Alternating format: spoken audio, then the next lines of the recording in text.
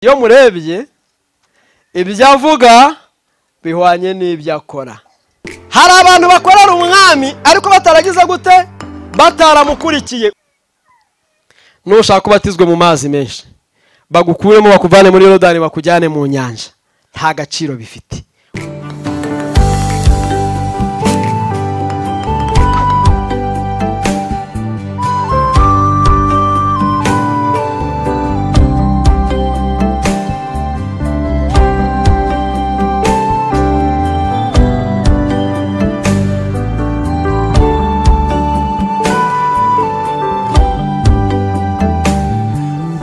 Haleluya haleluya yesu ashimwe barebe ndabasuje mu izina rya yesu. Iteraniro ryose ndarisuje mu izina rya yesu. Kandi mbahaye ikaze mu ijambo ry'imana. Ah, nabyutse numva ntameze neza ariko ni uburwara budakomeye cyane. Ariko numvaga ntagomba gusiba kubera ko numvaga nshaka kugabana umugisha wa none. Iyo turi mu kazi kacu gasanzwe turakora bakaduha amafaranga. Ariko iyo twaje umurimo w'imana turakora bakaduha amafaranga rero numvaga ndashobora gusiga ikamba rya none kubera ko numva ndwaye kandi amafaranga nshobora kujya kuyakorera. Ndashima imana rero ko impaye umwanya kugira ngo nganire nawe Ah, umwanditsi wa zaburi y'ijana na makumyabiri na gatandatu ku murongo wa gatatu yaravuze ngo uwiteka yadukoreye ibikomeye natwe turishima Ah, ni ubwa mbere ngiye kuvuga ijambo ry'imana mbona za kamera. Yaba n'ibyo bitegekana kuvuga bakazikuraho nkivugira imana. Ariko ntacyo bitwaye. Ah, uwiteka yadukoreye ibikomeye natwe turishima Sinjya- nkunda kuvuga cyane ntera za haleluya. Kubera igihe maze nigisha bimaze kunkukiramo niyo mpagaze ku ruhimbi mba ndi kwigisha. nko mu ishuri umuntu ufite nk'ikaramu ni we ubasha kunkurikira neza. Byamaze kunkukiramo maze imyaka irindwi ndi umwarimu muri kaminuza. Urumva ni myinshi. Rero bya- byanyinjiyemo burundu n'iyo ndi kuvuga ijambo ry'imana no mu buzima busanzwe mpita mpinduka mwarimu. Bimaze kunjyamo byarancengeye muranyihanganira. Ah, mu bihe byatambutse ntabwo twagiraga umugisha wo guhagarara mu giterane nk'iki ngiki ngo tuvuge. Ariko uwiteka yadukoreye ibikomeye natwe turishima ibi bintu ntabwo bituruka ku murage twahawe n'ababyeyi bacu.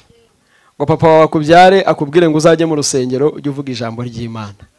Muririmbyi yararirimbye aravuga ngo ubuntu bw'imana butangaje. Haleluya aravuga ngo ni bwo bwankuyeho imigozi. Aravuga ngo mbese byavuye ku ki aravuga ngo byavuye ku gushaka kw'imana yonyine. Ngo niyo yambohoye. Arangiza aravuga ngo ni yesu wenyine. Wantoreye guhirwa mu ijoro mu bwami bwe.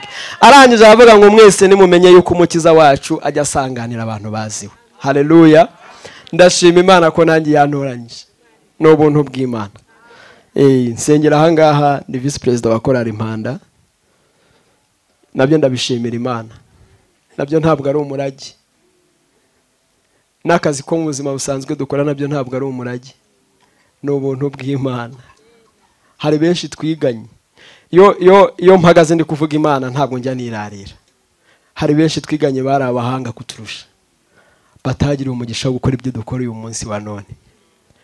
Si uko twakiranutse kubarusha. Si uko twagenze neza kubarusha. Ni ubuntu bw'imana. Mujye mushima imana. Ni abantu benshi cyane aya masaha batagira ubuntu bwo kuza. Ivuga gukurikira imana cyangwa se gukurikira yesu. Ah, umwanditsi w'ijambo ry'imana yaravuze ngo ntabwo twari dukwiriye kongera kubwirizwa ibya mbere bya kirisito ubundi hari ibintu bya mbere bya kirisito twabwirijwe bivuga yuko kubaho uwiteka ari bwo bwenge kandi kuva mu byaha ariko kujijuka. Ubundi ntabwo twagakwiye kuba tukibwirizwa ibya mbere bya kirisito ubundi izo ni inyigisho z'abana. Ariko kubera ko turi mu isi yuzuye ibibazo hari igihe bijya biba ngombwa ko twongera tugasubira mu bya mbere bya kirisito kugira ngo twongere dusubire ku rufatiro. Haleluya. Nanjye rero ndashaka kuvuga gukurikira yesu. Ijambo ry'imana ryaravuze ngo umuntu nankorera ankurikire. Ndagira ngo dusome ijambo ry'imana ntabwo nza kuza kuvuga ibintu byinshi. Ahangaha ni iwacu iyo ngiriwe ubuntu barambwira nkaza nkavuga imana Eh, iyo ntagiriwe ubuntu bwo kuza ahangaha ku ruhimbi hari n'igihe njya no mu cyumba nabo nkavuga imana bitakunda nkayivugira muri korari bitakunda nkayivugira iwanjye. Mfite uburyo bwinshi bwo kuvugira imana. Imana yampaye inzira nyinshi. Hari n'igihe n'umunyeshuri ansura muri ofisi yazana nk'akabazo runaka ngahita nivugira imana.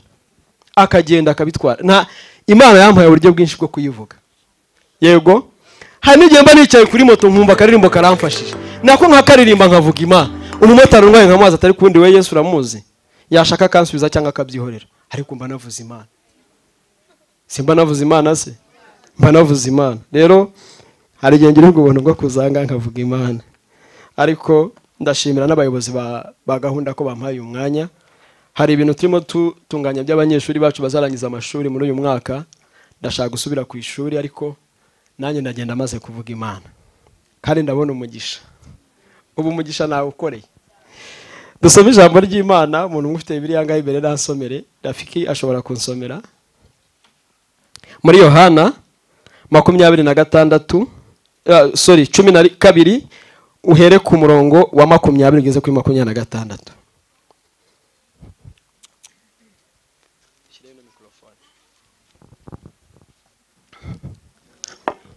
Yohana cumi na kabiri ahere ku murongo wa makumyabiri ageze ku wa makumyabiri na gatandatu. Cumi na kabiri makumyabiri kugeza kuri makumyabiri na gatandatu. Haravuga ngo titire abagira iki bashaka kureba yesu? Abagira iki bashaka kureba yesu? Hariho abagira iki mu baje gusenga mu minsi mikuru? Basanga filipo i betisayida w'i Galiya- w'i galilaya baramwinginga bati mutware turashaka kureba yesu. Filipo araza abwira andereya andereya na filipo nabo baraza ba- babibwira yesu. Yesu arabasubiza ati igihe kirasohoye ngo umwana w'umuntu ahabwe ubwiza bwe. Ni ukuri ni ukuri. Ndababwira yuko iyo akabuto eh, aravuga ngo iyo- yuko iyo akabuto k'ishaka kataguye hasi ngo gapfe ka- kagumaho konyine ariko iyo gapfuye kera imbuto nyinshi. Kera imbuto nyinshi. kera imbuto nyinshi. Ukunda ubugingo bwe arabubura ariko uwanga ubugingo bwe muri iyi si azaburinda ageze mu bugingo buhoraho. Umuntu nankorera ankurikire kuko aho ndi n'umugaragu wanjye ari hazaba umuntu nakorera data azamuha icyubahiro. None eh, si makumyabiri na gatandatu tugeza dusubiremo umurongo wa makumyabiri na gatandatu. Umuntu nankorera ankurikire kuko aho ndi n'umugaragu wanjye ariho azaba. Umuntu nakorera data azamuha icyubahiro. Imana iduhane umugisha. Ndumva ndibuze kuza gusoma ahandi hantu hamwe. Ariko munyemerere mbanze mvuge kuri iri jambo. Ah, umutwe w'amagambo badusomeye uravuga ngo abagira iki bashaka kureba yesu.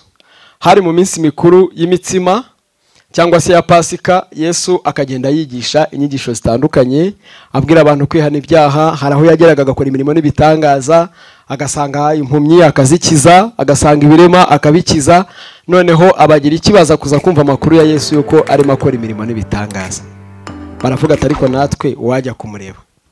Ubu hari abantu babyutse mu gitondo bumvise amakuru y'uko hano sejemu imana ijya ikora imirimo n'ibitangaza. Baravuga ati ariko natwe uwajya guteranira sejemu. Nabo bagira ikintu ko bari bameze. Baravuga ati ariko uwo mugabo barimo bavuga natwe uwajya kumureba. Ngo bagezeyo basanga umukuru w'itorero witwa filipo baramubwira uti twe nta kindi kitugenza turashaka kuza kureba yesu. Abantu baje kureba yesu imana ibaha umugisha. Ngo noneho arangije ngo arababwira uti nta kibazo mwakwinjira mukareba yesu. Basanga yesu arimo arigisha inyigisho nakunze arababwira ngo iyo akabuto kamwe k'ishaka katemeye gupfa. Ntigashobora kwera imbuto nyinshi. Kagumaho ari konyine. Ariko iyo kemeye kujya mu butaka kagahambwa karakura kamara gukura cyangwa se karamera kamara kumera kakera imbuto nyinshi. Ako kantu ni akantu k'ubwenge cyane. Yesu kirisito ntashaka yuko winjira mu rusengero uza kumureba ngo ugume nk'uko waje ukiza. Hari abantu baza mu rusengero bafite ibyaha byinshi bamara kugera mu rusengero ntibemere gupfa. Imana irashaka yuko dupfa ku byaha kugira ngo tubashe kwera imbuto. Haleluya mbese yarashatse kubabwira ngo kuza kundeba byonyine ntabwo bihagije. Ahubwo birasaba ngo umuntu nagera ahondi ahita apfa. Haleluya umuntu nagera ahondi ahita apfa ntakomeze kubaho. Ntakomeze kubaho nk'uko yabagaho. Ubu hari abantu binjiye muri kirisito yesu hari abantu baje kureba yesu bageze mu rusengero bakomeza kuba basinga iyi barahari? Hari abantu baje kureba yesu kirisito bahageze bakomeza kuba abacyaha hari n'abandi bantu baje bahageze rwose baravuga ati ah twebwe abantu b'iwacu nta muntu utuvugiramo tuzakizwa ariko muzatume. Yesu kirisita arashaka ko dupfa. Haleluya abwira icyo arababwira ati "Re- bakimara kuhagera. Yarabarebye abona ni bazima. Kandi we ashaka ko bapfa.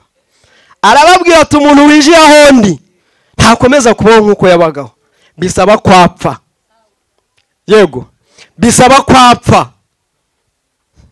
Waza uri umwega wagera mu rusengero ugapfukama umwana w'imana. Waza uri umusinga wagera mu rusengero ugapfukama umwana w'imana. Waza uvuye mu mahanga ntuze uvuge ngo so urareba ukavuga ngo dore kubaho uwiteka ni bwo bwenge kandi kuva mu byaha niko kujijuka. Yesu kirisita ashaka ko nitwinjira mu rusengero dupfa. Yego. Arababwira ati agashaka kamwe iyo nyiraka kabitse. Gashobora kumara imyaka icumi mu kigega. Ari agashaka kamwe. Ariko iyo agateye kakemera gupfa. Gashobora kwera ikiro. Yego. Gashobora kwera nuko rero yesu kirisita dushaka ntabwo yesu kirisita ashaka ko tuba abakirisito bambara amategeko mu gatuza no mu mugongo.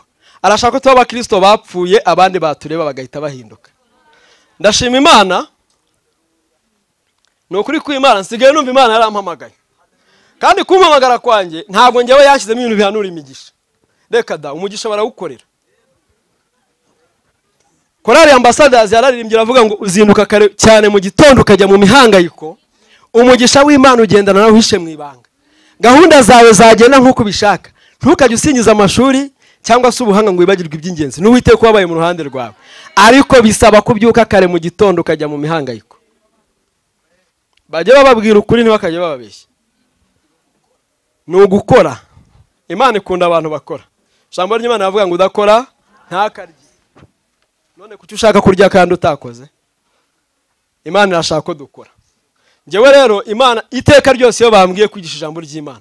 Mpita numva rwose njyewe nshaka kwivugira iby'ubwami bw'imana by'imigisha. Hari abantu benshi cyane bataza mu rusengero bazaturusha imigisha. Barahari rwose. Imigisha yo mu isi abantu bazayigira. N'ubu imana yaciriye inzira akitwa ko yabonye umugisha azasanga akorera umuntu udasenga.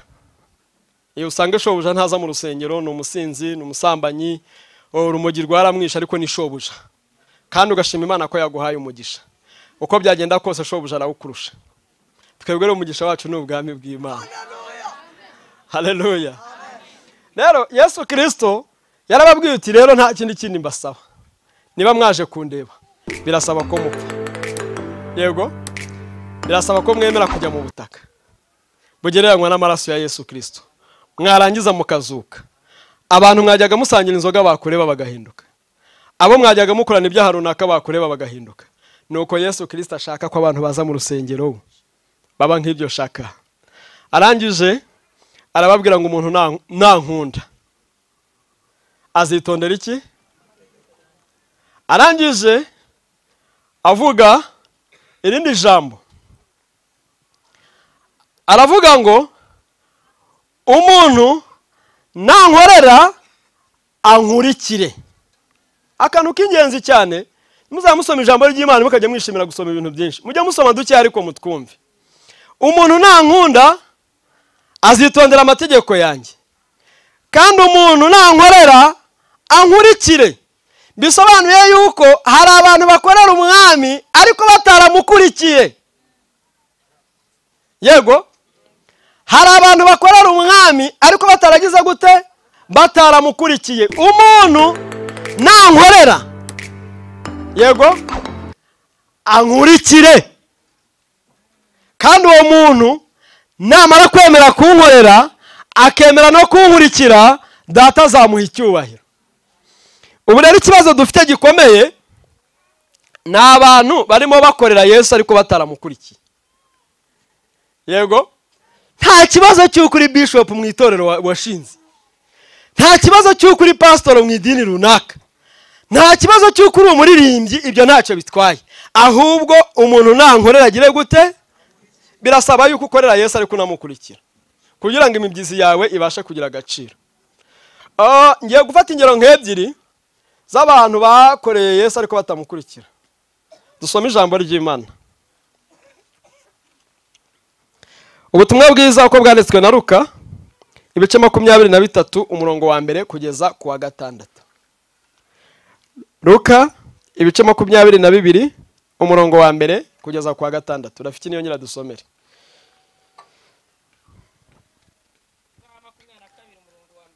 Nugera ku murongo wa gatatu usubiremo.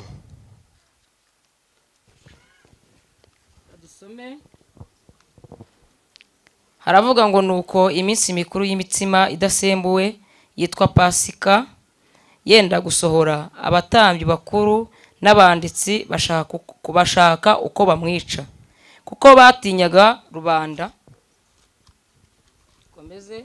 ko batinyaga rubanda satani yinjira muri yuda witwaga isikari uwo murongo ndashaka ko usubiramo satani yinjira muri yuda tuwusome gakeya. Yego. Satani yinjira muri yuda witwaga isikariyota yari mu mubare wabo cumi na babiri. Yari mu mubare wabo cumi na babiri. satani yinjira muri yuda witwaga isikariyota yari mu mubare wabo cumi na babiri. Aragenda avugana n'abatambyi bakuru n'abatware b'abasirikare uko azamubagenzereza. Baranezerwa basezerana kumuha ifeza. Aremera maze ashaka uburyo yamubagenzereza. Rubanda rudahari. Mane guha umugisha. Ndumva nshaka kuvuga ku muntu wakoreye yesu ariko ataramukurikiye yego. Aramukorera ariko ataragize gute? Ah, uyu mugabo dusomye muri izi nkuru witwa yuda yahamagawe nk'uko izindi ntumwa zahamagawe. Ah, imana itoranya intumwa hari abo yasanze bari kuroba irangije arababwira uti kare twasanze bari kubivugaho izo nshundura nimuzisige nzabagira abarobyi b'abantu. Noneho barangije baramukurikira yesu agenda atoranya intumwa ageze no kuri yuda nawe aramutoranya abaranwa n'intumwa cumi n'ebyiri za yesu kirisito amaze kumutoranya yuda yatangiye ari intumwa nk'izindi. Nta vugabutumwa na rimwe bibiri itwereka yesu kirisito yagiyemo ngo yuda asigare. Yego? Nawe barajyanaga. Ntabwo yesu kirisito yerekana yuko hari igiterane yakoze ngo yuda icyo giterane ntakibonekemo. Ariko ijambo ry'imana dusomye mu butumwa bwiza bwa ruka ibice makumyabiri na bibiri iyo ugeze ku murongo wa gatatu haravuga ngo satani yinjira muri yuda uwo kandi uwo yuda nawe yari yarabaranywe n'intumwa cumi n'ebyiri. Yego? Oh, satani amaze kumwinjiramo abayuda bumvaga inyigisho za yesu bakumva ntabwo bazishimiye. Iyo usomye ivuka rya yesu usanga umwami herode ntabwo yabyishimiye yashatse kumwica afata abana bose b'abahungu bari munsi y'imyaka itatu arabica kugira ngo usanga arebe ko umukiza yapfamo ariko ntibyamukundira. Noneho rero abayuda bakomeza urwo rwango kuko inyigisho yari afite zari zihabanye n'ukuri bari bafite bumvaga mesiya naza azaza ari umuntu ukomeye akima ingoma akabagabanya imyanya ikomeye ariko bagiye kubona babona uje araza avuga iby'ubugingo ntavuga iby'ubwami bw'isi. Barangije baravuga uti rero tugomba kumwica. Ntabwo bagiye kure. Ntabwo bagiye mu bantu bataziranye na yesu bavuge ngo wa mugabo umaze iminsi yaradutse ino waba umuzi? Waguha amafaranga wamutugezaho hoya yarebye bugufi. Satani yarebye bugufi. Mu bagendanaga nawe nta nubwo yagiye muri za ntumwa mirongo irindwi yesu yatoranije ahubwo yarebye muri za zindi cumi n'ebyiri yabanje gutoranya. Navuga ati ariko muri ziriya ntumwa cumi n'ebyiri ntitwabonamo umwe. Umwe ntiyaboneka. Ngo arangije satani ngo ahita yinjira muri yuda. Bakajya mu iteraniro ariko yuda afite izindi gahunda. Bakajya mu murimo mu ivugabutumwa ariko yuda afite izindi gahunda. Kandi yuda nawe yavugaga yuko akorera yesu. Yego yavugaga yuko akorera. Ngo arangije baramubwira uti ko dushaka kumwica? Mbese wabidufashamo? Kandi uwo bari bagiye kwica ni umwami we. Uwo bari bagiye kwica ni umwami we. Ngo yuda arangije aravuga ati rero muyampaye. Mukayampa yuzuye. Nabere kuko nzamubagenzereza. Nimuyampe gusa. Ntabwo ari umuntu usengera muri isilamu wageze muri adeperi nta nubwo ari umuntu usengera muri katolika wageze mu mu basilamu. Oya nimuyamuhe gusa. Ni uwa bugufi ndamuzi. Nzamucunga uko nzamufata ndabizi. Ni umwami we. Utajya werekwa wirebera ariko arimo aragira gute? Arimo aramugambanira. Umugambaniye si uwakuri umuntu nankorera agire gute? Kugira ngo ubugingo bubashe kuboneka birasaba ko dukorera umwami ariko tunamukurikira. Kuko abantu benshi baramukorera ariko ntabwo bashaka kugira gute? Ni muyampe nzabere kuko nzamubagenzereza rubanda rutagira gute? Rubanda rutareba. Kubera iki batinye rubanda? Yesu kirisito yari yarahumuye impumyi rubanda rureba. Hari n'abo yari yarakijije muri bo. Yari yaramanyuye imitsima abantu bararya barahaga. Barangije baravuga ati uyu muntu utubura imitsima agafata imitsima ibiri n'amafi angahe akabitubura? Iteraniro ryose rikarya rigahaga. Uyu muntu uko byagenda kose afite izindi mbaraga kandi si izaha ngaha. Ntabwo twakemera ko bamwica tugira gute? Tureba. Arangije aravuga ati mwebwe ni muyami. Yego ni muyami. Ubu ntabwo watangazwa n'uko hano mu iteraniro. Hari uwo bashobora kwegera. Terafiki turamushaka ati ni muyame. Ni muyame ndabereka. Ati ndamuzi ndamubazanira. Ndamubazanira. Temanuweli turamushaka. Ati ni muyame. Ni muyame nza- nzamubazanira. Nzamubazanira. Imana irashaka yuko tuyikorera ariko tunagira gute? Tunayikurikira. Umuntu nankorera ankurikire. Data nawe azagira gute? Azamuha icyubahiro. Ariko ibintu byo gukorera yesu tutamukurikira. Ntabwo yesu abishaka. Yego? Satani yinjira muri yuda ntabwo abantu bari kubimenya bisaba amaso y'umwuka. Umubona asirimba? Nawe yarahamagawe. Wamubona abwiriza? Ni umuntu w'imana. Wakumva aririmba? Ati ni umurokore ariko ashobora kuba aririmba cyangwa akabwiriza ariko yarinjiriwe. Satani yaramaze kugira gute? Yaramaze kumwinjirira. Yuda wamubonaga yambaye amategeko mu gatuza no mu mugongo. Nawe ni intumwa. Nawe ni umwana w'imana. Ariko imana ishaka yuko tuyikorera. Twarangiza tukagira gute? Tukayikurikira. Yego tukayikurikira. Si ngombwa yuko abantu baza kuza kumenya ibyo ubana na byo mu mutima wawe. Ahubwo ni ngombwa yo kugenzura. Ukavuga ati ariko se ubundi imana ndi kuyikorera nayikurikira cyangwa ndi kuyikorera gusa? Cyangwa na byo byarananiye? Ndashaka gusoma ku rindi jambo rimwe akaba ariho nsoreza. Iminota bampaye rwose ndumva ihagije Oh, kadusome irindi jambo rimwe dusome ijambo ry'imana oh, igitabo cy'abarewi ibice bitandatu ku murongo wa gatatu honyine. Ubundi dusenge imana. Abarewi gatandatu gatatu.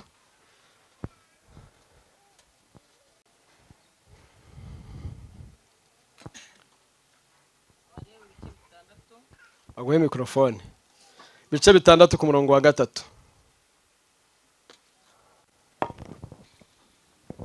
Gatandatu gatatu. Haravuga ngo umutambyi yambara ikanzu ye y'igitare. Umutambyi yambara ikanzu ye y'igitare. N'ikabutura y'igitare. N'ikabutura y'igitare. Ayambare ku mubiri we. Ayambare ku mubiri we imana iguha umugisha. Iri jambo dusomye ni amategeko imana yahaye mose.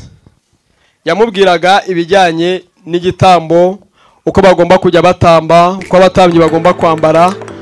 Bari abana ba aroni imana yari irimo ihereza amabwiriza irangije imana iramubwira uti ugenda umbwirire bene aroni ati umuntu najya gutamba ajye yambara ikanzu y'igitare namara kwambara ikanzu y'igitare imbere ashyiremo ikabutura kandi iyo kabutura ashyizemo na yo igomba kuba ari igitare.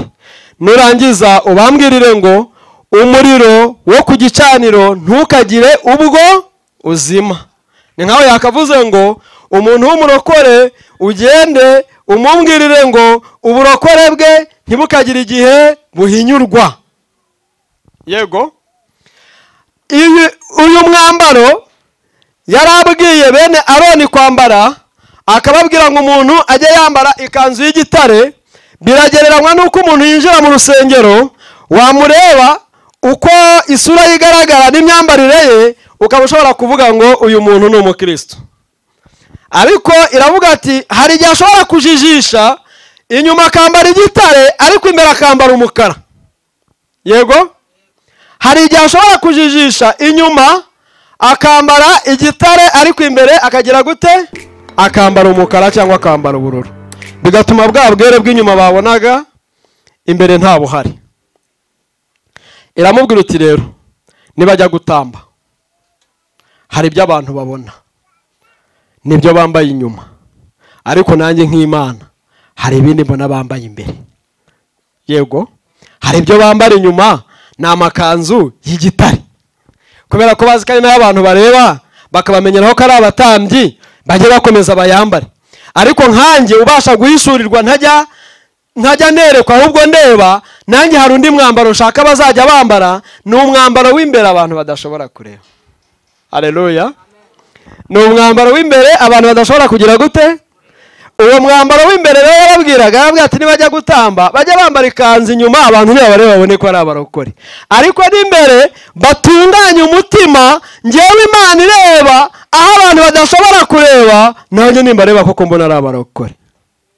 Yego. Aka gakabutura k'imbere yari imubwiye karagereranywa n'umutima w'umuntu. Umuntu adashobora kureba kubera ko muhuriye muri korari umuntu adashobora kureba kubera ko mwahuriye mu cyumba cyo kuwa mbere. Umuntu adashobora kureba kubera ko mwahuriye ku igaburo. Umuntu adashobora kureba kubera ko mubana muri gurupe y'abatoni. Umuntu adashobora kureba kubera ko turirimbana mu mpanda. Ahubwo ni akantu kiherereye ngewe na data wo mu ijoro tuziranyeho areba akavuga ati iyo murebye ibyo avuga bihwanye n'ibyo akora. Yego ibyo avuga bihwanye n'ibyo akora. Abwira ati abatambyi bajye bambara umwambaro w'igitare ariko imbere naho bashyiremo agakabutura k'igitare. Imana irashaka yuko ibyo tuvuga n'ibyo dukora biba bihuye. Ntabwo imana ishaka yuko biza kuza kunyurana. Njyewe nababwiye iyo ndi kwigisha ntabwo njya nyine sinjya amenya kwigisha ibintu by'imigisha. Umuririmbyi yararimbye aravuga ngo imigisha yo mu gakiza k'imana ku bw'ubuntu twarayihawe. Kandi twayihawe mu gihe twihanaga ibyaha. Ushaka umugisha w'imana nta yindi nzira ni ukwihana ibyaha. Ubundi imana ikamuha umugisha. Yego. Muririmbyi ya mirongo icyenda n'icyenda mu ndirimbo z'agakiza yararirimbye aravuga ngo ntabwo nahora mbaririza iby'urugendo rwawe. Cyangwa se ngo nshidikanye kugukurikira. Umurimo wanjye ni umwe ni uwo kugukurikira no gukomeza inzira nk'uko wayimenyesheje. Dore umurimo w'umukristo ni uwo nguwo. Yesu kirisito hari ikintu yavuze kumukorera. Yaravuze ngo umurimo w'imana ni umwe ni ukwizera gusa uwo yatumye. Ni uwo murimo w'imana.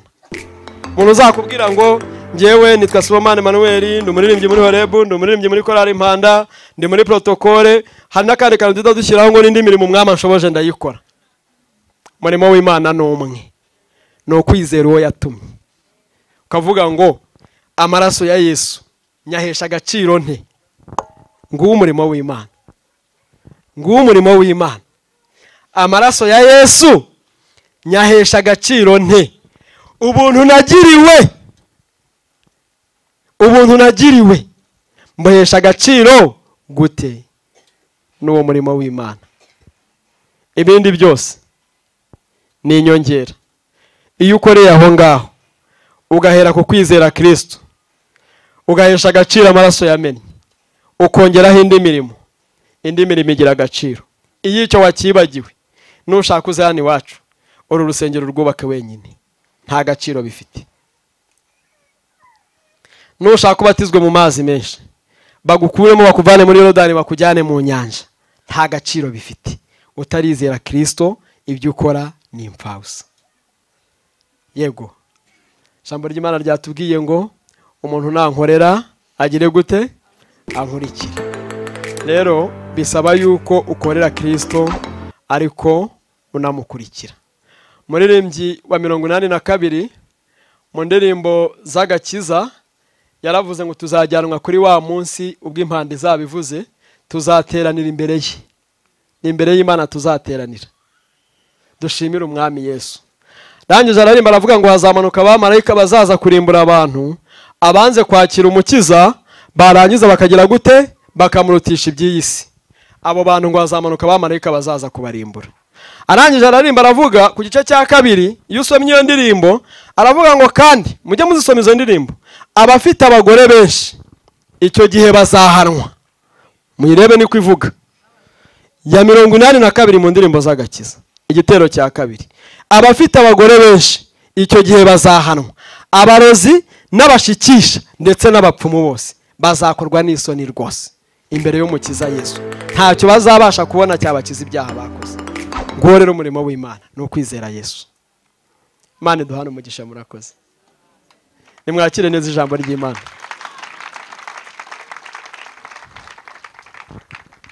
Tugiye kwinjira mu mwanya wo gusenga imana. Tugiye kwinjira mu mwanya wo gusenga imana.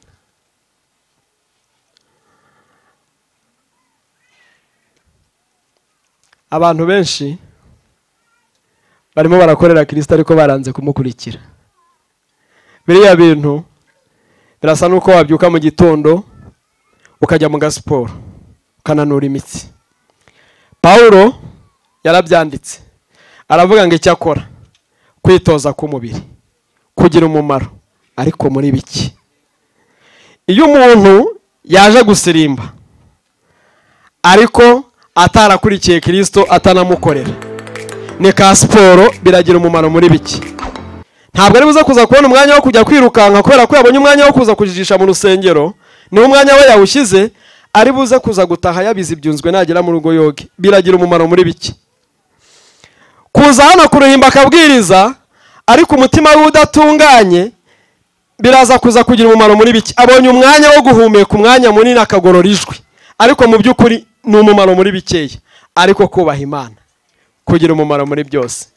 Ni isezerano rya none n'irizaza naryo. Nuko rero mureke twitoze kubaha imana. Mureke twitoze kubaha imana. Ngaha tugasenga tukavuga ngo imana iguhaye viza ugiye muri canada. Muririmbyi w'indirimbo zo mu gitabo yararimbye aravuga ngo muri iyi si ntaho tuzakirira. Ngo nta hantu hatagerwa n'umubisha ibibi ntaho twabihungira. Ngewe ngira akantu nkunda kwivugira kavuga yuko muri ino si ari imburabuturo urabyuka mu gitondo ukajya muri amerika. Ngo imana yakoze imirimo n'ibitangaza wagiye muri amerika. Ukabisi indege igutwaye igusubiza muri amerika ikaba yarizanye umunyamerika uje gutura mu rwanda. Ukabyuka mu gitondo ati imana yavuganye nanjye ngiye muri canada. Wagera muri canada ugasanga umunyakanada waje gutura kongo nuko mu isi byubatse. Ni imburabuturo ni twamuvomatu nuko nuko nuko nuko nta n'umwe ushobora kuvuga ngo ngewe aho ngeze ndumva hanejeje ku buryo nshobora kumva ariho natura. Uganira n'umuntu uri hanze mwaganira ukumva nawe ahubwo arihebye kurusha uri mu gihugu. Rero ni uko nguko ibyo bintu ino si imana yayivuzeho iravuga ngo wasiwe n'abagutuye ishyano rirabagwiriye kubera ko umubagize gute abamanukiye. Kandi ngo amanutse ngo afite ubukana bwinshi. Nuko rero umubi watumanukiye nuko nk'uko yayikoze yashyizemo abantu kumva yuko aho bari hadatunganye ahubwo wabageze ahandi ariho hagize gute? Hatunganye. Abari ku ishuri none asanga akavuga ati mana numa diporome nzagukorera. Yabyuka mu gitondo imana igahita ivugutereka mugerageze igahita iguhereza na burusi ukaza muri kaminuza. Wagera ukavuga uti ariko mana aya mashuri ntahagije. Yaba byari bikunze ukamana ka masitazi nako igashyiraho. Gahita uvuga ati ariko ubundi abandi bitwa ba dogiteri ngewe nziki nako ugashyiraho. Mu gihe ukiri muri rwa rugendo ugasanga urahamagawe. Kaguhamagara. Ukiri mu kwiruka ukiri mu kwiruka. Rero ibifite umumaro kuruta ibindi ni ukubaha imana. Ni ukubaha imana. Ubu tuba dushima imana na bariya abanyeshuri buriya hari harimo abanyeshuri banjye bamwe nagiye mbabona yigisha n'abandi duhurira muri deparitema ndimo nagenda mbabona. Ubu barimo bamwe barimo barishima tugiye kugaradiwetinga ariko nibagera hanze bazatangira kuvuga turadusubiza mu ishuri. Ni uko nguko isi yubatse. Muri iyi si huzuye umuruho n'amahane. Ibyo dukeneye byose ntabwo bihita biboneka. Ariko kubaha imana kuzazana byose.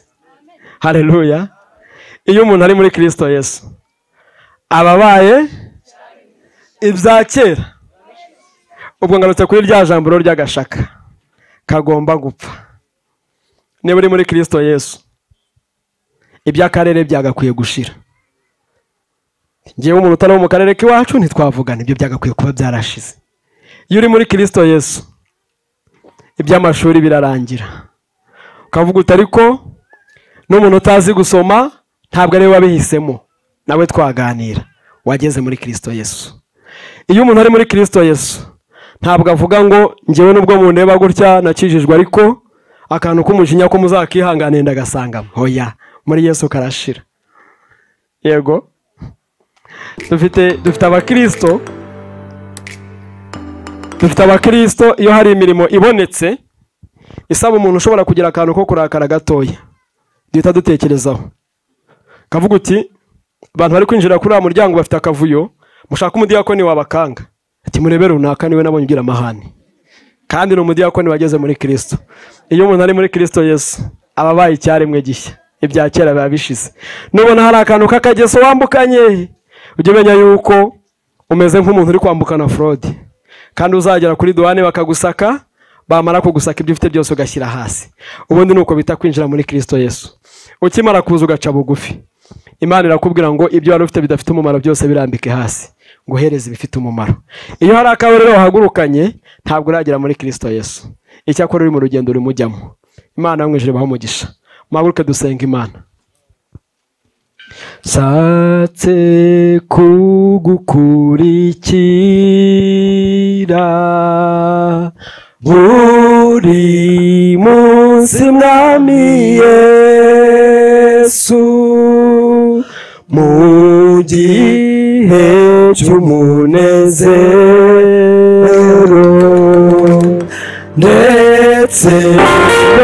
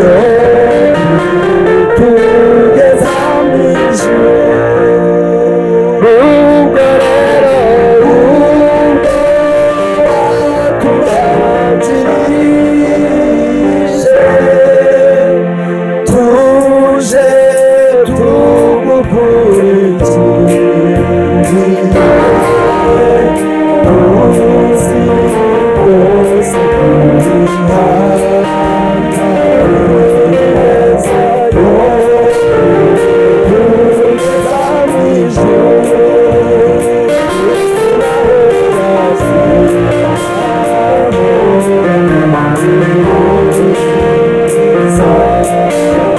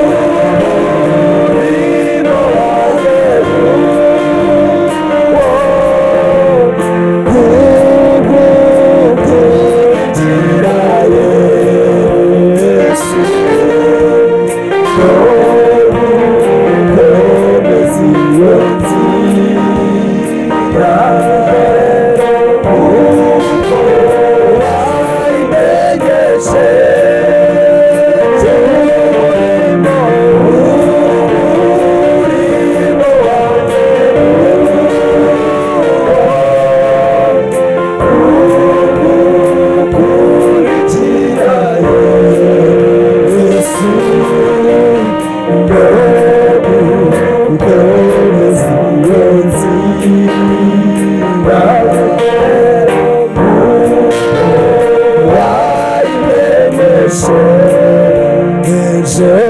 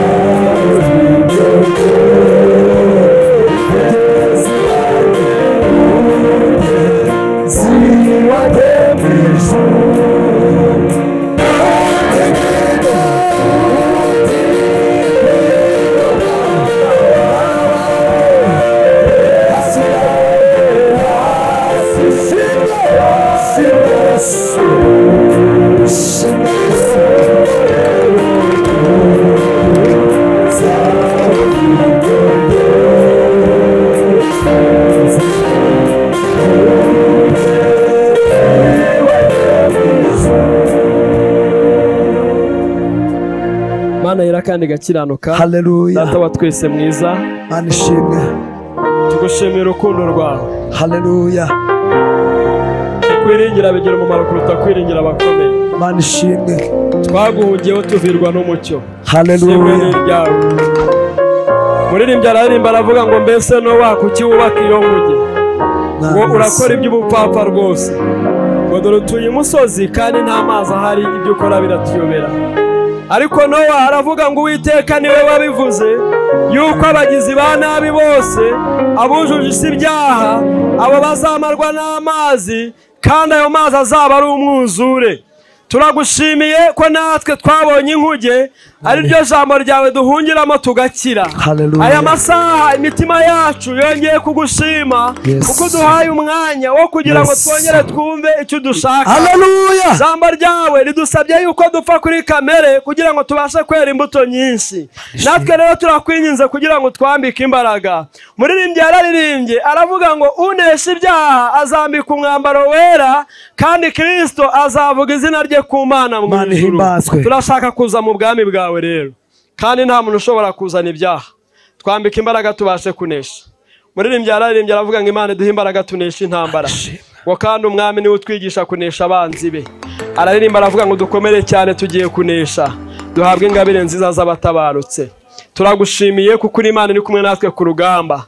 Dufite umugaba n'umwami yesu. Nituba hamwe tuzahora tunesha. Muririmbyi araririmba aravuga ngo kandi ndi umukristo. Yo, icyo ni Yesu. gihumuriza umutima yesu aravuga ngo njye ndi umukristo. Naho naterwa n'ibyago ngo ndetse nkaba no ku rugamba. Turashaka kuba abakristo baguhamya turi mu gihe cy'umugisha kandi twanatewe n'ibyago. Ntabwo dushaka guhindurwa n'ibihe. Twambika imbaraga rero. Aya masaha turagushimiye. Mwami imana icyubahiro ni icyawe mwami turagushimiye. Kuko ari wowe imana iri mu ruhande rwacu. Waravuze ngo uzatujya imbere. Ahantu hataringaniye uharinganiza natwe rero yesu. kugira ngo dufate ukuboko. Hallelujah. muririmbyi yararirimbye aravuga ngo urukundo rwanjye ruke. Urwo ntabwo rwagufata. Ariko kirisito ngo iteka aramfata kandi akankomeza kubera ko nkunda bihebuje.